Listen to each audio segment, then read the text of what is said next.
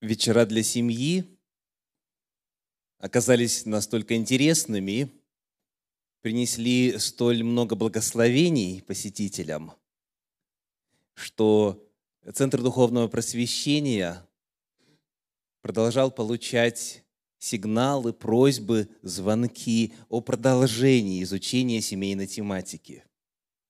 На веб-сайте Центра духовного просвещения можно найти аудио и видеозаписи, а также и на канале Центра Духовного Просвещения на веб-сайте YouTube. Предыдущих 12, потом 7 дополнительных вечеров для семьи. И все, что мы надеемся рассматривать э, сегодня, и даст Господь через месяц, в течение дополнительных пяти вечеров для семьи – оно никоим образом не должно рассматриваться в отрыве от того, что уже было сказано. Потому что тема семьи очень обширна, и в рамки одной встречи, одной беседы невозможно уместить все. Потому все, что сегодня прозвучит, оно замыслено как вот продолжение построения мировоззрения на базе священного писания продолжая изучать тему о семье, мы будем строить на том, что уже нами было исследовано. И вот сегодняшняя тема – как найти спутника жизни. Эти пять дополнительных вечеров, они будут следовать даст Господь той же самой логики, что и предыдущие 12, и потом дополнительные 7. А именно, будет всегда тема на начало семейной жизни, на создание, на создание семьи. Дальше будет тема о взаимоотношениях в уже существующей семье. Затем обязательно вопрос интимной жизни и, конечно же, вопросы воспитания детей. Вот это наш план на вот эти новые дополнительные пять вечеров для семьи. Итак, тема сегодня – как найти спутника жизни. Как вы знаете, некоторые из вас по собственному опыту, тема эта и вопрос этот очень непростой. А, более того, когда мы начинаем опрашивать население, в том числе и поэтов, то оказывается, что очень много пессимизма на эту тему. Не сочтите за оскорбление, когда прозвучат некоторые жесткие слова в стихотворении, которое написал Игорь Иртеньев. Там в действительности есть некоторые крепкие такие слова, но они не мои. Это просто демонстрация того, что думают в народе. Итак, внимание на экран. Женщины носят чулки и колготки и равнодушны к вопросам культуры. 20% из них идиотки, 30% набитые дуры. Это мнение Ертеньева. 40% из них психопатки. В сумме нам это дает 90. 10% имеем в остатке. Да и из этих-то выбрать непросто. Молодые люди, мужчины, что скажете? Что ваш опыт подсказывает? Согласитесь или возразите? Ну, конечно же, женщины в долгу не остались, и потому в ответ Иртеньеву Тамара Панферова написала свое стихотворение. Естественно, о мужчинах. Носят мужчины усы и бородки и обсуждают проблемы любые. 20% из них голубые, 40% любители водки, 30% из них импотенты, у 10 с головой не в порядке, в сумме нам это дает 100%, и ничего не имеем в остатке. Ну что, женщины, как вам оценка?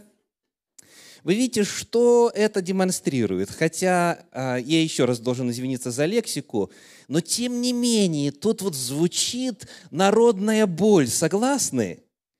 Очень трудно найти приемлемую а, пару, очень трудно найти себе пару, очень трудно найти себе спутника жизни. те, кто из вас попробовал, а, знают, о чем идет речь. Нужны знания, нужно знать, как это делать, как не ошибиться. И вот потому давайте сейчас проиллюстрируем, насколько знания в действительности важны. Я приглашаю сюда на сцену либо влюбленных, вот жених и невеста, чтобы тут оказались, либо э, уже состоявшуюся семейную пару, то есть они поженились, у них печати стоят, там лицензия есть, все как полагается. И вот э, кто хотел бы попробовать продемонстрировать некоторые знания? Пожалуйста, вот выходите прямо сюда, без стеснений, задание будет несложное, а нужны он и она умные, красивые, молодые, среднего возраста, почтенного, неважно. В общем, любой из присутствующих подойдет. Пожалуйста.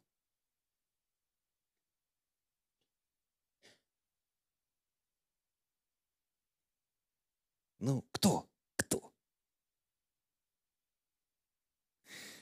Вас предупреждали. Какой у нас формат э, встречи? Интерактивный. Вот это как раз.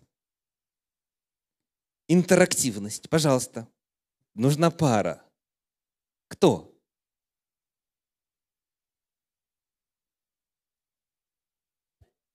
Ну, подождем, подождем.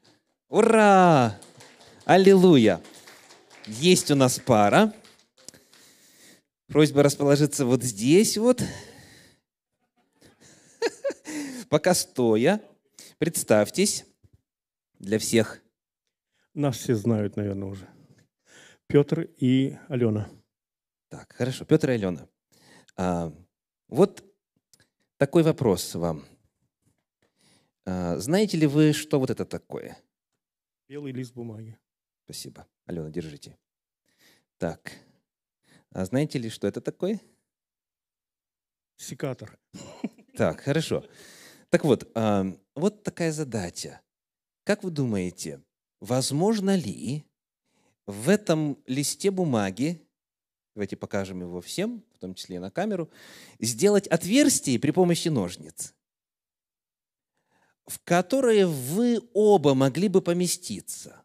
То есть пролезть через этот лист бумаги, сделав э, отверстие ножницами. В общем, у вас есть время, пока я тут буду беседовать с народом, да, вы, вы посидите, подумайте, и в конце лекции мы вас пригласим. Спасибо. Давайте еще раз порадуемся за Петра и Алену, что они все-таки вот э, откликнулись на просьбу.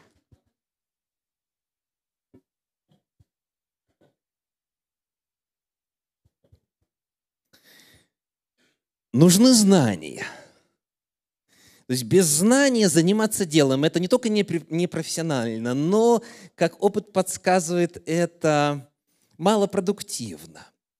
И вот на вопрос, как найти спутника жизни, в Священном Писании мы находим целый ряд библейских историй. Их на самом деле очень много. То есть мы смотрим, как вот люди Библии находили себе пару –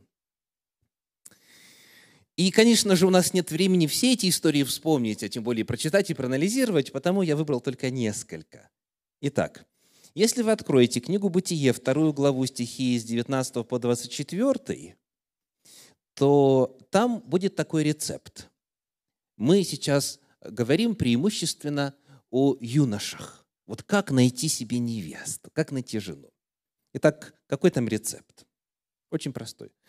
Ложись спать, Бог вынет у тебя ребро и сотворит жену. Очень просто. Но именно так вот наши прародители нашли друг друга. Адам и Ева стали друг другу мужем и женой. Вот таким образом. Он лег спать, сон был глубокий. Бог изъял ребро и из ребра создал жену. Еще один отрывочек. Книга Второзаконий, 21 глава, стихи с 11 по 13. Второзаконие, 21 глава, стихи с 11 по 13. Если кто успевает в памяти пролистывать страницы Священного Писания, о чем там говорится? Какой там рецепт? Вот какой. Найди привлекательную пленницу, приведи домой, обрей на лысо, отрежь ногти, одень в траурную одежду, и затем она твоя. Дословно. Вот такая информация. Еще один пример. Книга Судей, 11, вернее, 21 глава, стихи с 19 по 25. Как найти себе жену? Вот рецепт. Пойди на вечеринку и спрячься. Когда девушки выйдут плясать, хватай, которая понравится, и убегай со своей новой женой. И так и было. Около двухсот человек так себе создали семью. Представляете? Еще одна иллюстрация. Книга «Руфь», 4 глава, стихи с 5 по 10. Кто помнит, о чем там идет речь? Книга Руфь, 4 глава, с 5 по 10. Вот такой рецепт. Купи участок поля и получи жену в придачу. Вот так вот Ваоз обрел Руфь. И так далее. То есть есть много разных описаний в Библии, в Слове Божьем, о том, как разные люди создавали семью. Но, очевидно, не для всех сработает то, что было верно для Адама и Евы, для тех, кто женился на пленницах, для тех, кто своровал невесту, и что было верно для Ваоза. Иными словами, библейские описания при всей их интересности и вот захватывающей природе, они далеко не всегда годятся в качестве примера для а, руководства для всех нас. Потому интересно бы посмотреть, что в Священном Писании говорится о главных принципах поиска человека. Главный принцип поиска человека. Вот сегодня, когда я готовился к тому, чтобы уже упорядочить материал для этой беседы, и а, когда готовил слайды, я получил электронное сообщение. И в нем были такие слова. Если не можешь найти пару, найди хотя бы одного. Нужно знать, что искать. Нужно знать, как искать. Нужно знать главные принципы поиска человека, личности, который был бы для тебя в действительности читой. Я вновь напоминаю, что мы много об этом уже говорили, и целый ряд отрывков Священного Писания уже рассмотрели. И вот то, что мы будем рассматривать сегодня, является продолжением и попыткой заглянуть за еще одни кулисы вот в этой тайне поиска для совместной жизни человека. И вот здесь нам на помощь может прийти то, чему однажды во время своего служения на земле учил Иисус Христос. Этот отрывочек, обозначение которого вы видите на экране, Евангелие от Матфея, 4 глава стихи 18-19, не связан напрямую с созданием брака. Евангелие от Матфея, 4 глава стихи 18 и 19. Давайте мы откроем это место и посмотрим, каким образом там предложены соответствующие принципы. Матфея 4 глава, стихи 18 и 19. Проходя же близ моря Галилейского, он увидел двух братьев, Симона, называемого Петром, и Андрея, брата его, закидывающих сети в море, ибо они были рыболовы и говорит им, идите за мною, и я сделаю вас ловцами человеков. И они, тотчас оставивши сети, последовали за ним.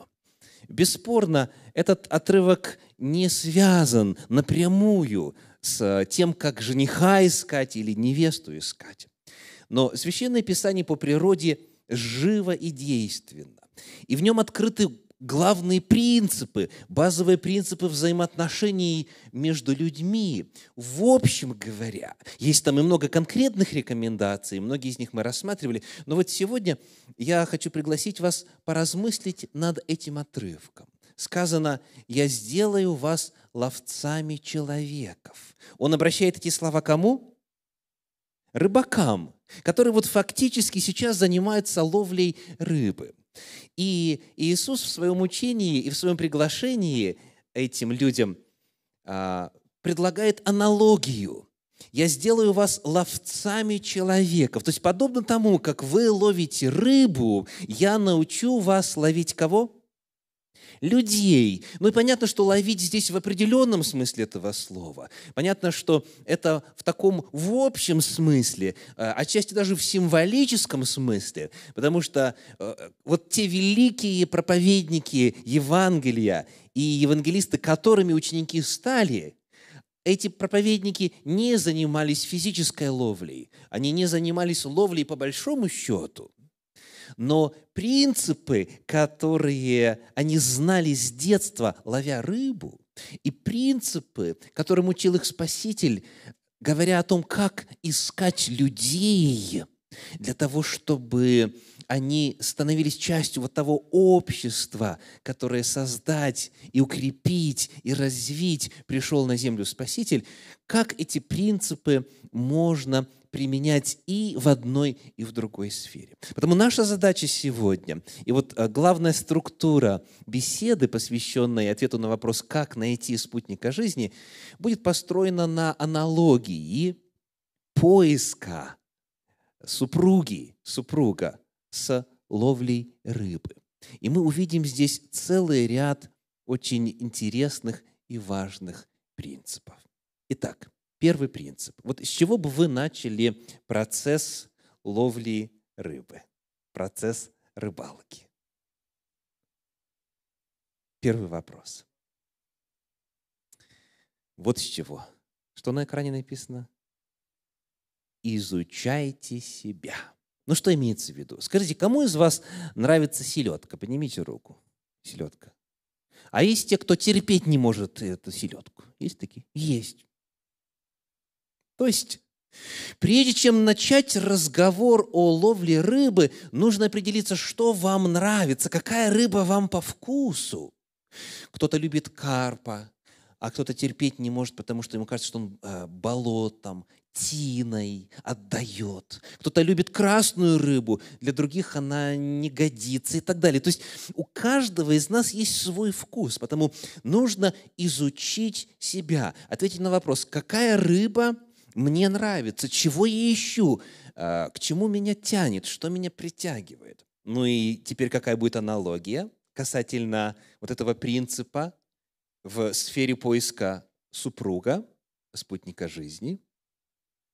Необходимо дать определение понятию спутник жизни. То есть для вас лично, вот вы с вашими чувствами, с вашим темпераментом, с вашим образованием, с вашим жизненным опытом, с вашей внешностью и так далее, и так далее, кто вам на самом деле нужен? Вы знаете, многие начинают с вопроса формирования такого вот, знаете, сказочного образа спутника жизни. Но это неверно, это неправильно – Потому что, может быть, вот этот сказочный образ, он абсолютно не для вас. Нужно начинать с себя. Вы должны четко представлять, вы идете форель ловить или ерша вам подавай. Вы должны четко знать, что вы хотите. И вот когда человек изучает себя, он проходит определенный тест, он, он выявляет свою реакцию, он э, начинает задавать вопрос, а что для меня важно в жене или что для меня важно в муже? Хочу ли я, чтобы, вот, допустим, он был человеком эмоциональным или, наоборот, мне нужен такой, вот, знаете, вот э, человек очень твердый такой, немногословный, такой вот именно сильный и прочее. Что я хочу?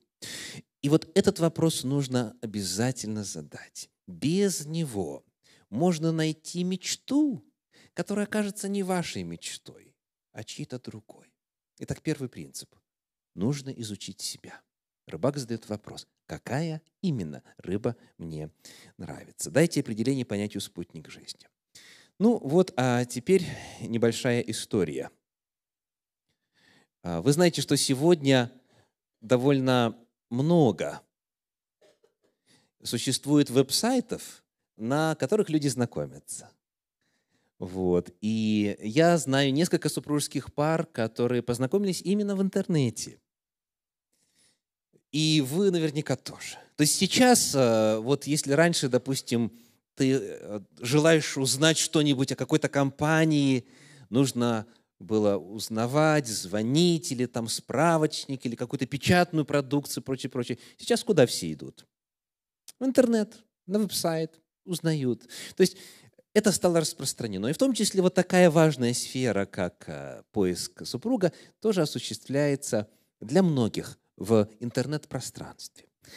И вот рассказывают о том, как однажды девушка, желая найти себе спутника жизни, нашла вот один из таких веб-сайтов для знакомств. И э, задает вопрос. Можете ли вы мне помочь найти подходящего мужа? Напечатал. Оттуда задается вопрос. А кого вы ищете? Опишите, опишите ваш идеал. Ну и напечатает.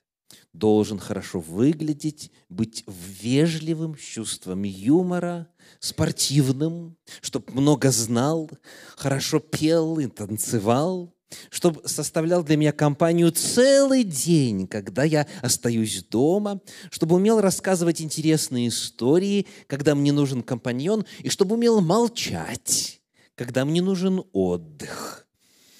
Компьютер зафиксировал всю информацию и через секунду выдал результат. Результат гласил, купите телевизор. Девушка думала, что ей нужен молодой человек, она думала, что ей нужен муж, но ее образ мужа на самом деле был не образом мужа. Ей нужен был телевизор. Она сама не знала, чего ей надо. Вот это вот иллюстрация, которая показывает состояние очень многих. Потому первое. Начните с изучения самого себя. И вот теперь очень интересно посмотреть на мир природы в этом отношении. В Библии неоднократно говорится о том, что мы можем научиться у Божьего творения многому. В частности, на экране вы видите так называемого э, по английской терминологии golden eagle. Да? Ну, золотой орел по-русски так вряд ли это произносится, но вот англоязычная терминология такая. Так вот, а, в некоторых из особей, в некоторых из видов орлов поиск спутника жизни происходит следующим образом. Когда красивый, статный, привлекательный орел проявляет знаки внимания, направленные на орлицу, ее не впечатляет его внешний вид. Она почти на это вовсе не смотрит. У нее есть свой тест, как определить, можно ли с ним иметь дело или нет. И вот что она делает. Она берет а, маленькую веточку и поднимается с нею ввысь, высоко, высоко, высоко, и бросает эту веточку. Если ее потенциальный муж в состоянии поднырнуть в воздухе под эту веточку, так, чтобы она приземлилась на его спину и подлететь с этой веточкой на спине, не уронив ее к ней, он проходит первый этап теста. Потом он наберет веточку потяжелее и снова устремляется ввысь и снова бросает. Если он вот эту ловит, то тогда он выходит на следующий уровень. Если же он первую не поймал, все, она с ним даже дальше, как говорят у нас, и разговаривать не будет. И вот, наконец, все заканчивается тем, что она берет вот самую тяжелую ветку, которую она в состоянии поднять, и вновь бросает ее. Если он благополучно ловит, значит, тогда он становится ее партнером на всю жизнь.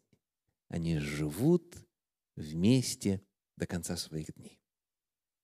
Странный тест, правда? Или нет?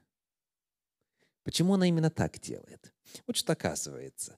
Когда орлята, которые вылупляются там высоко в горах, в облаках, достигают времени, когда надо уже учиться летать, то орлица берет и их буквально силой из гнезда выпихивает, сталкивает. Они упираются, пищат. Это забавно смотреть. Они а, не хотят, им так комфортно, им все переносят, все им делают это. И вот она спихивает этого птенца.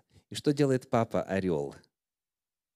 Да, вот когда птенец, болтыхаясь, пытаясь вот эти крылья свои как-то привести в порядок и так далее, пытаясь удержаться, он летит, летит кубарем вниз, то папа именно вот он подлетает снизу и ловит его на свою спину и возвращает в гнездо. И так, пока птенцы не научатся летать. Вот почему орлица применяет именно такой тест. Дорогие, она знает, что ей нужно. Она подходит к вопросу прагматично – ее не волнует внешний вид или ширина крыльев, или размах, или что-нибудь еще иное, вот такое внешнее. Ее интересует вопрос, можно, можно ли будет с этим претендентом детей воспитать? Можно ли ему довериться? Можно ли в практическом отношении на него положиться? Вот эта иллюстрация того, как и в человеческом обществе разумно было бы начинать процесс. То есть четко определите, дорогие женихи, дорогие невесты, четко определите, кто вы. То есть что для вас важно в семье, что должен уметь ваш потенциальный муж или жена. Вот узнайте себя, познайте себя, задайте себе вопросы. Это первый шаг. Продолжая дальше разговор о главных принципах поиска человека. Исходя из аналогии, оставленной Иисусом Христом, когда Он ученикам своим говорил о том, что сделает их ловцами человеков, давайте зададим следующий вопрос. Вот человек понял, какая рыба ему нужна. Он изучил себя. Что дальше он должен сделать? Какой будет правильный, мудрый шаг? он должен теперь изучать рыбу. Вот хотите щуку поймать? Изучайте щуку. Хотите поймать окуня? Изучайте окуня. То есть задайте вопрос о местах обитания, о повадках, о рационе питания. То есть что ест именно вот эта рыба – Изучите вопрос о снаряжении, что необходимо будет для того, чтобы заполучить эту рыбу себе и так далее. То есть необходимо посвятить время, узнать, в каких водоемах, в каком климате, а, в стоячей ли воде или в проточной, это будет э, океан или это будет озеро и так далее. То есть нужно узнать как можно больше собрать информации о том, кого вы хотите, образно говоря, поймать. Так вот, теперь, проводя аналогию, что будет делать мудрый жених или мудрая невеста? Изучать противоположный пол. То есть необходимо будет провести время, узнать, каковы физиологические отличия между полами, каковы психологические отличия. Нужно узнать вот хотя бы вот в общем говоря, чем мужчины от женщин отличаются.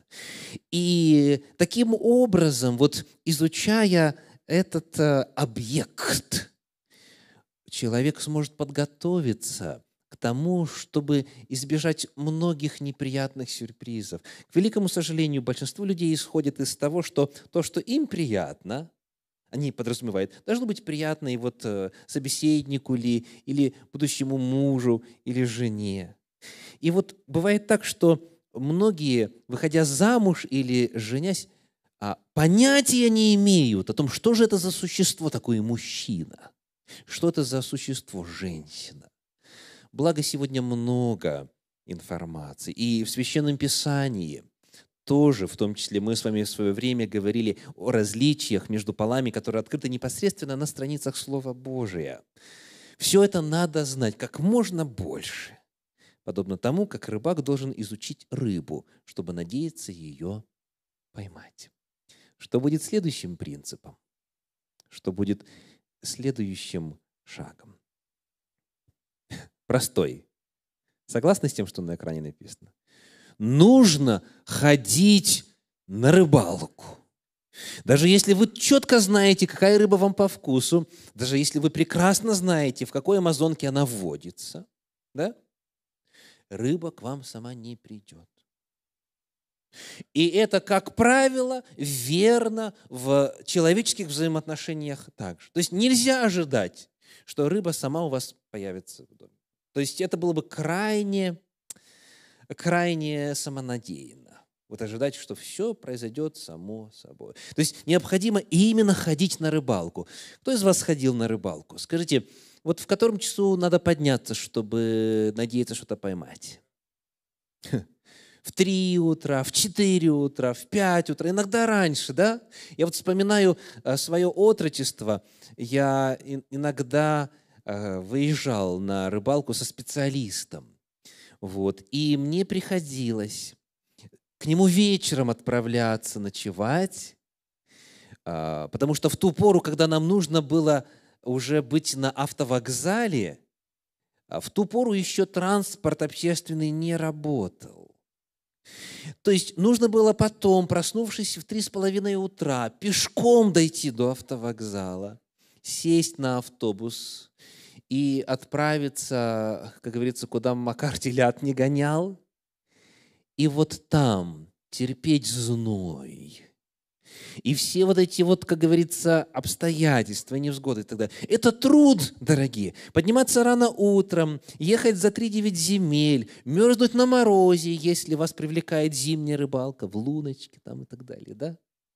Вот. Или э, томиться от, от жара, от зноя, терпеть зной – то есть надо работать. Как у нас в народе говорят, без труда не вытащишь или не выловишь рыбки из пруда. Не говоря о том, чтобы уже где-то в других водоемах. Да? То есть нужен труд, нужно работать, нужно работать. Скажите, что это может означать, если мы проводим вот эту аналогию и проекцию на человеческие взаимоотношения?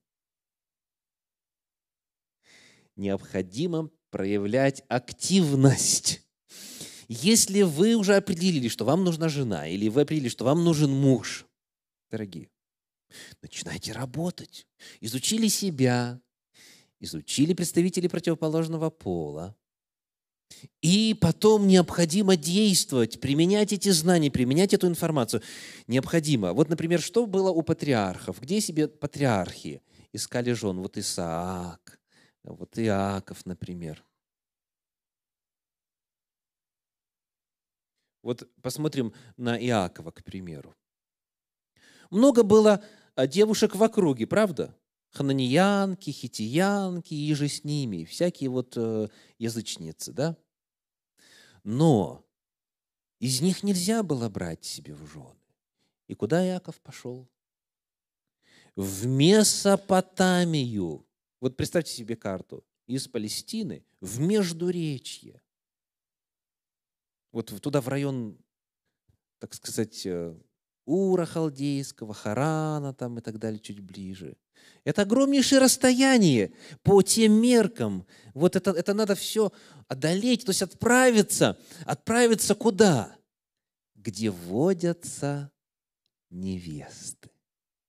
То есть они именно действовали. И дальше, в случае с патриархом а, Иаковом, э, семь лет он должен был отработать, чтобы получить свою избранницу в жены. То есть это именно активность. Что это сегодня может означать? Например, вот смотрим на юношей, которые хотят жениться.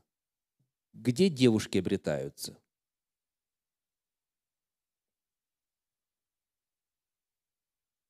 Вот кто говорит, в Портленде. Есть там девушки? Да. Так, в Белловью есть? Есть. А на Флориде? А в России, в Украине, в Молдове, в Казахстане и в иных прекрасных местах? Да.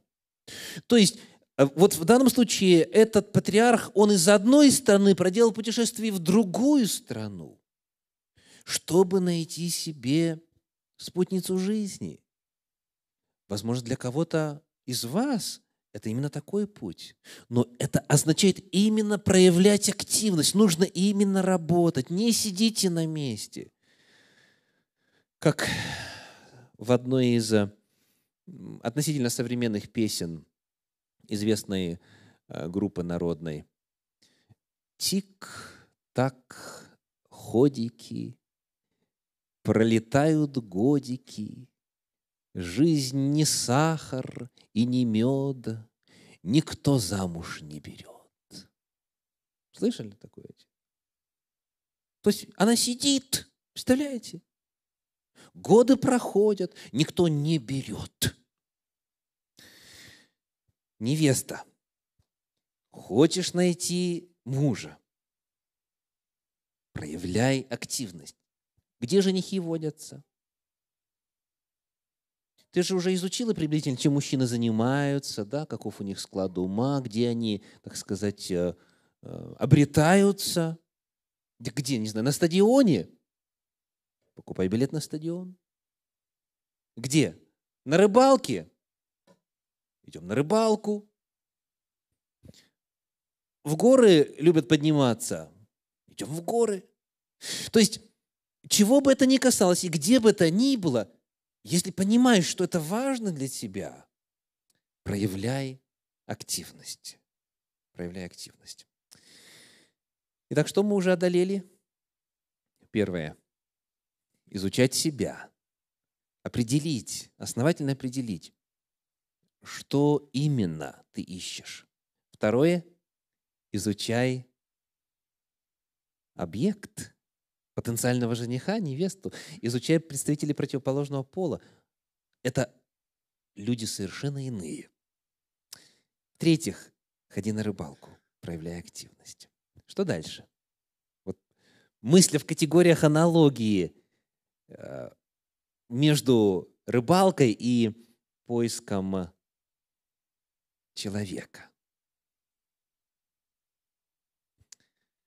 Четвертый очень важный принцип. Выбирай лучшее.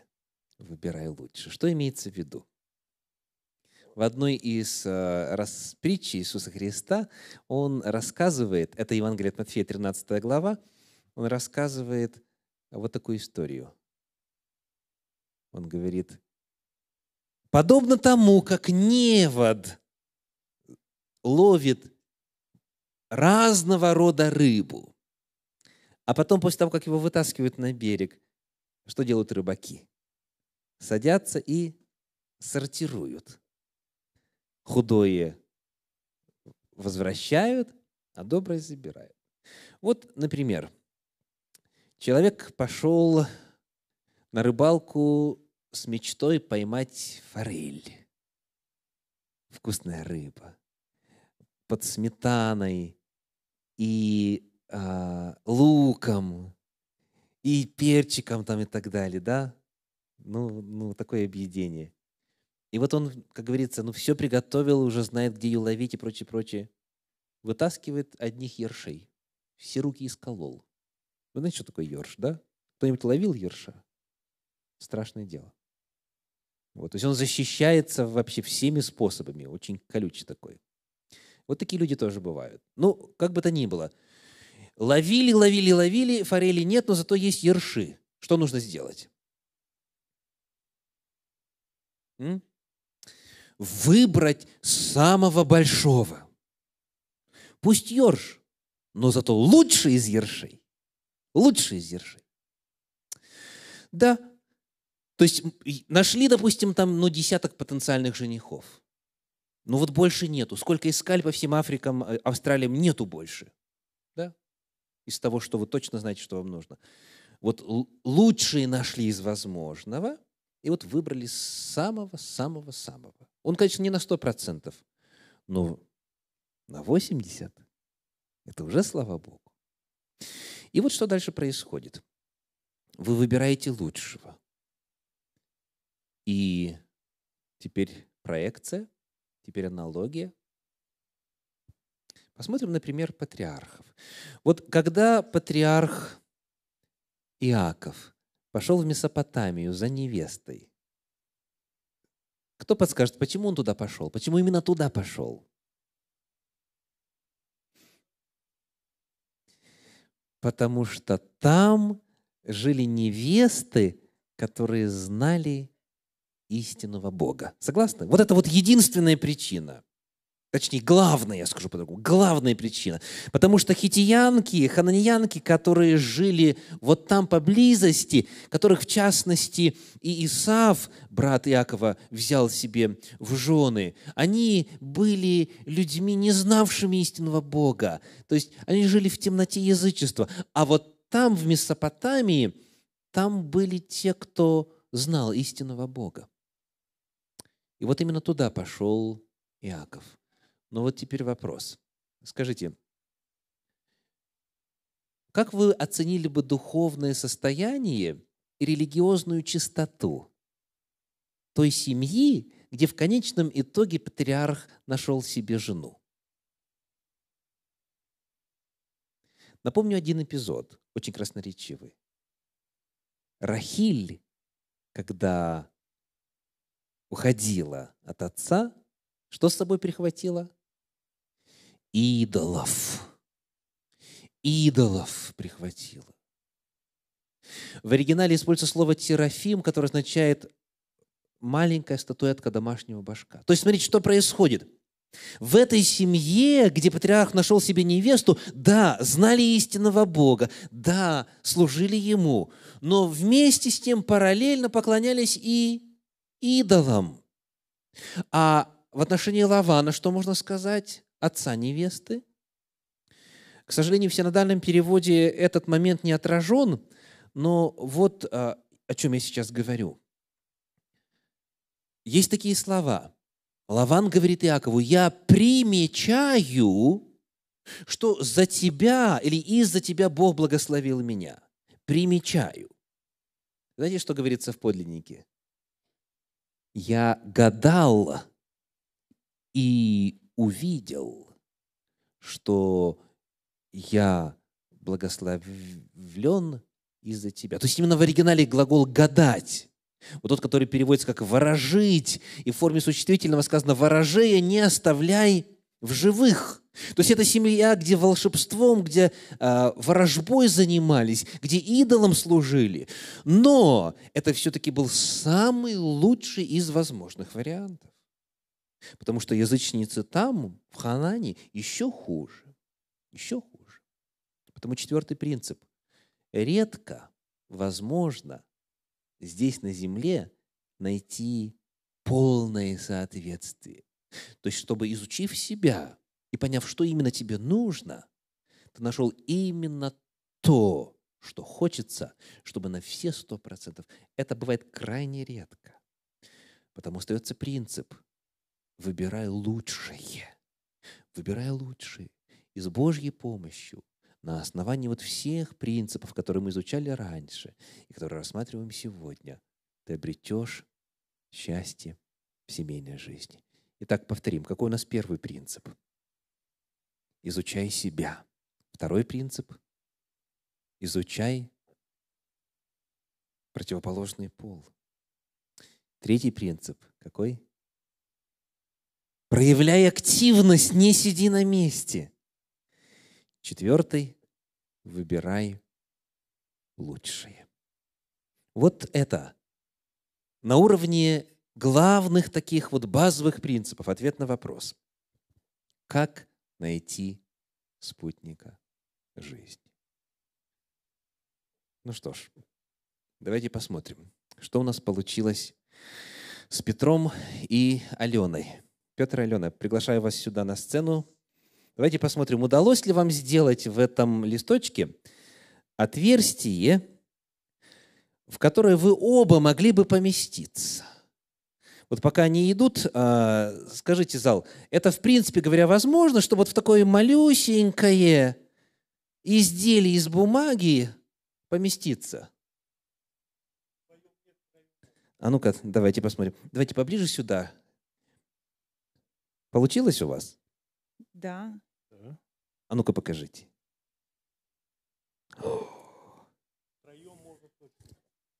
Вот это да! Вы представляете?